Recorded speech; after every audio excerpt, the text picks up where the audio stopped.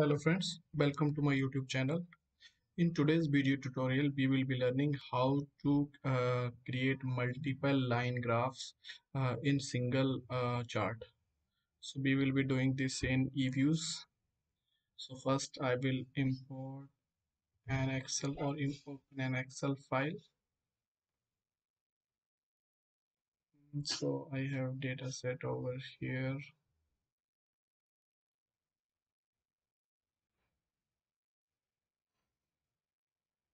so yes we have imported the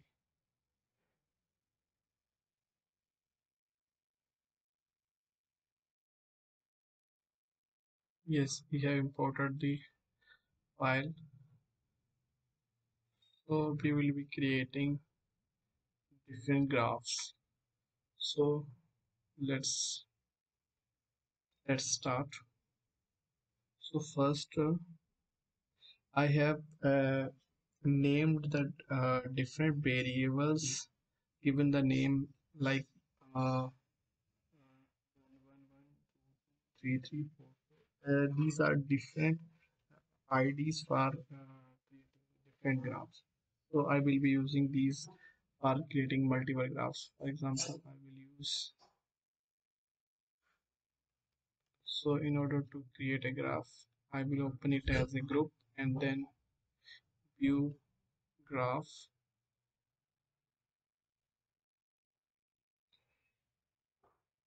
Then okay. Yes. So we have the graph. So here here is the uh, the time and here are the uh, values of the different variables. For example uh, capital ratios cr1 capital ratio 2 uh, return on asset return on equity liquidity ratio. So okay so now uh, we have to freeze this. And then we will name it. Let's say for example we keep this name. Okay. So now we will close this. Yes. Now we'll we will be creating another graph for another category. For example this is uh, the these are the variables for another uh, for example bank or company. So we have the graph. We will be explaining in detail the, uh, about the graph uh, after make, uh, creating these graphs. So first let complete the uh, graph creating process. Okay so here we have to create a graph. And then okay simply click ok so yeah we have another graph.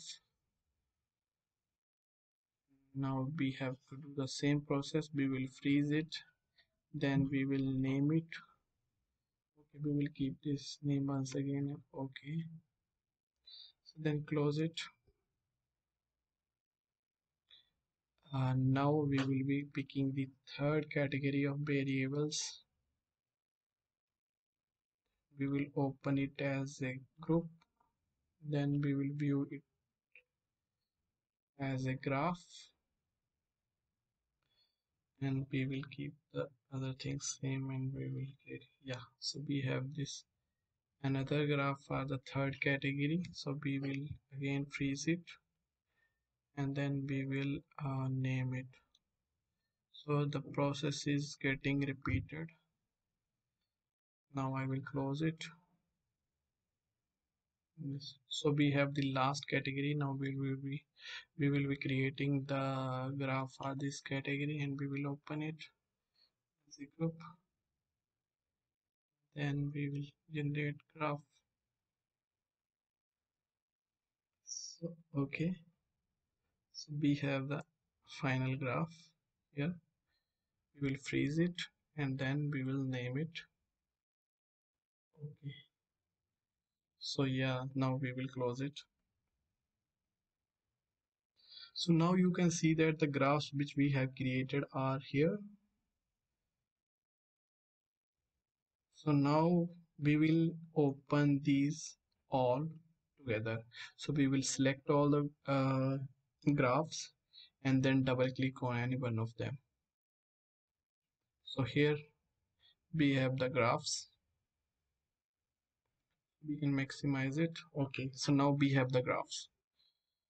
Uh, now we can make the changes which we need or uh, now uh, let me explain these uh, graphs. So first uh, all these graphs belongs to uh, uh, different banks.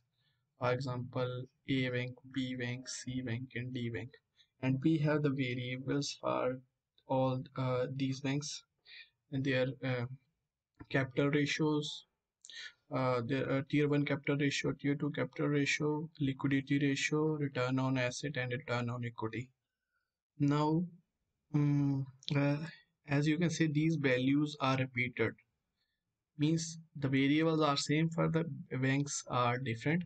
So we need not to keep all three all four these uh, legends. So we can remove it. Uh, we will be doing later uh, that thing later. First let us do some basic changes. So if you have to do changes in all the graphs uh, simultaneously then you will just right click and go to option on all graphs okay so we have the uh, we have the graphs here. Now for example we want to change uh, the colors or uh, symbols belonging to it. So we can change it. So for example in case of first graph we want to keep uh, symbol like this in case of second we want to keep it like this. In case of third we want to keep it like this. In case of fourth we want to keep it like this. And in case of fourth we want to keep it like say like this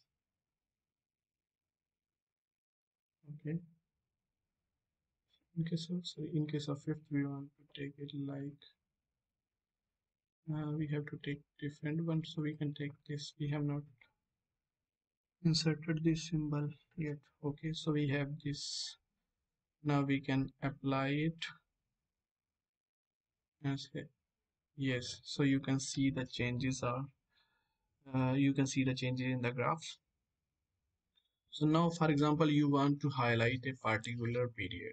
For example you want to say that uh, you want to specify in the graph that during 2007 to 2012 a policy was introduced uh, by the government or by the central bank of the country. And uh, you need to highlight the graphs and want to sh uh, show that how the trend moved during that period. So first first you have to click right click and then add a line and shading so uh, uh, we will click on the shaded area and we want to highlight the period from 2007 to 2000 say 14 okay?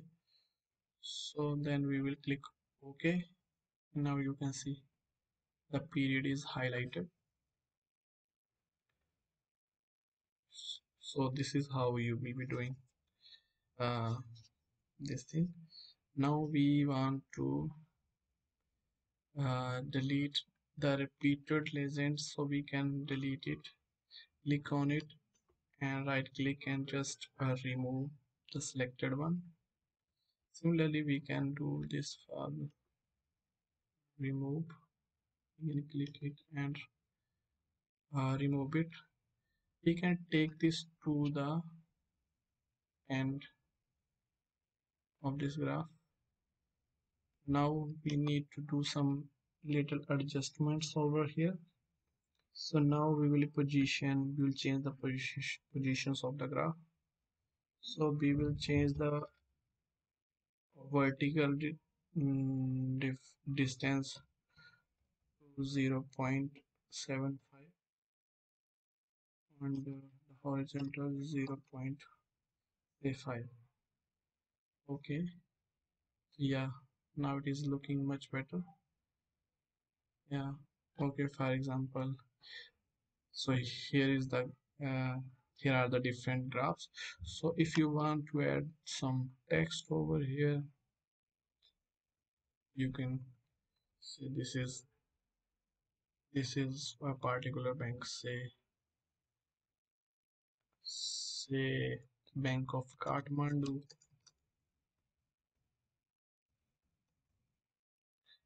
okay. So now this you can pick in and keep it over here. Similarly you can name the other uh, graphs as well. So yeah this is how you will do uh, you will create multiple uh, graphs using eviews. And uh, this is how you will combine these graphs. So i hope uh, you learned something from this video uh, please do like if you learned something. Thank you so much for watching this video